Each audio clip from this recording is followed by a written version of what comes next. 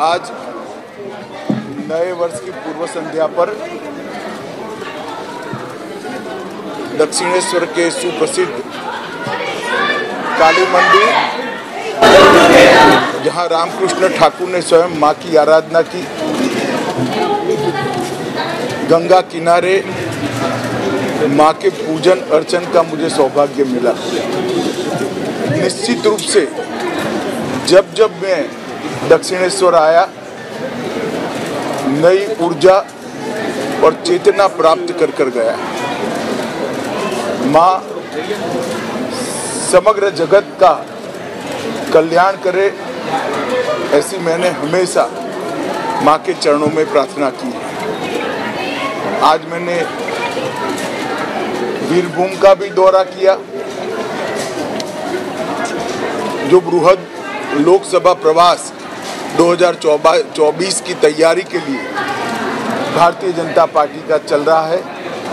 इसके तहत मैं वीरभूम आया था।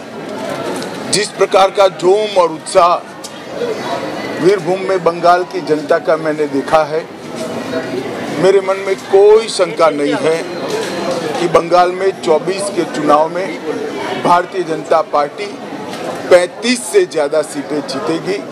और फिर से एक बार मोदी जी 300 से ज़्यादा सीटों के साथ देश के प्रधानमंत्री बनकर आएँगे। मैं आज माँ के चरणों में यही प्रार्थना कर कर आया हूँ, बंगाल की समग्र जनता सुख शांति का अनुभव करे, यहाँ कानून और व्यवस्था की परिस्थिति ठीक हो और सर्व धार्मिक उत्सव शांतिपूर्ण रूप से लोग मना पाए।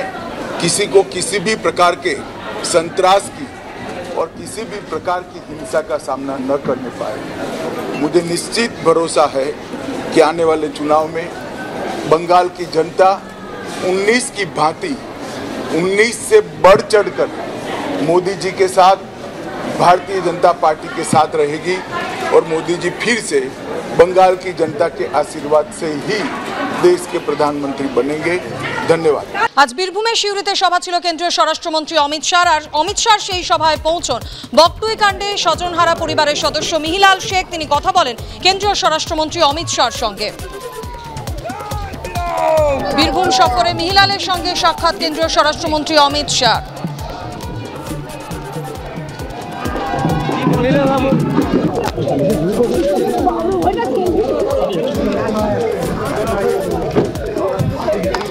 বিষয় নিয়ে বিস্তারিত জানব, সরাসরি কথা বলে নেব। আমাদের সঙ্গে রয়েছেন প্রতিনিধি অনির্বাণ বিশ্বাস। অনির্বাণ, এই সভার আগেই মিহিলাল শেখ যেমনটা বলেছিলেন যে সুযোগ পেলে অমিত শাহকে বকটুই কাণ্ড পুরোটা বলব। তিনি কি বলতে পেরেছেন? কি কথা হয়েছে তার অমিত শাহর সঙ্গে?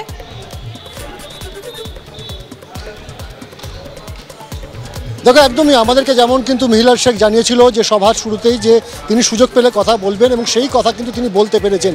আমরা দেখলাম যে সিউড়ির যে নতুন পার্টি অফিস, সেই পার্টি অফিসে যখন স্ট্র্যাটেজি মিটিং করে বেরোচ্ছিলেন অমিত শাহ এবং তখন কিন্তু গাড়িতে তিনি উঠে যান এবং তিনি কিন্তু ডেকে নেন মিহিলাল শেখকে এবং তারপরে কিন্তু তিনি মিহিলাল শেখের সঙ্গে প্রায় মিনিট দুয়েক কথা বলেন এবং সেখানে পরবর্তী সময় যখন মিহিলাল শেখের সঙ্গে আমরা কথা বলেছি, তিনি কিন্তু জানিয়েছেন যে অমিত শাহর সঙ্গে তিনি কথা বলতে পারবেন, এটা কিন্তু তিনি ভাবতেই পারেননি। তবু চেষ্টা তিনি করেছিলেন এবং অমিত শাহ নিচে তাকে ডেকে নেন এবং তিনি তার ভাষাতেই যেভাবে শাসক দলের নেতা মন্ত্রী থেকে শুরু করে পুলিশ জড়িয়ে রয়েছে, বকটুয়ের ঘটনা সেই কথা তিনি জানিয়েছেন, এমনটা তার দাবি। এবং এই গোটা ঘটনায় অমিত শাহ কিন্তু জানিয়েছেন যে তার পক্ষে যতটা করা সম্ভব তার পাশে থাকার আশ্বাস কিন্তু কেন্দ্রীয় স্বরাষ্ট্রমন্ত্রী দিয়েছেন। আমরা দেখেছি যে আজকে মিটিংয়ে কিন্তু বকটুয়ের বক্তব্য উঠে এসেছে কেন্দ্রীয় অমিত শাহর মুখ কেন্দ্রীয় মন্ত্রী অমিত শাহর মুখ থেকে।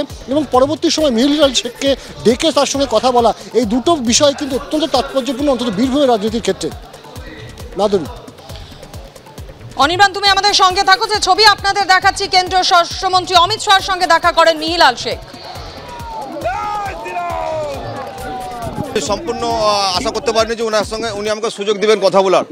তো আমি মাননীয় স্বরাষ্ট্রমন্ত্রী মহাশয়ের কাছে অনেক অনেক মানে কৃতজ্ঞতা জ্ঞাপন করছি যে উনি আমাকে সামান্য যে সময়টুকু দিয়েছেন, আমি যথেষ্ট কথা বলেছি এবং অল্প সময়ের মধ্যে সংক্ষেপে আমি পুরো কথাটা ক্লিয়ার করেছি, আশা করি।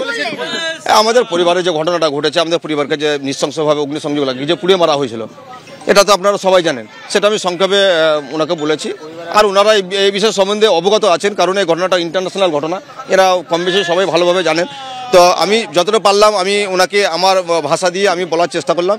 তো উনি আশা করি সমস্ত বুঝতে পেরেছেন, আমাকে পুরো আস্থা ভরসা দিয়েছেন, আমি ওনার উপরে ভরসা রেখেছি এবং আগামী দিন আমি, উনি আমার ভালো করবেন, উনি আমাদের পাশে থাকবেন এটা আমি পূর্ণ আত্মবিশ্বাস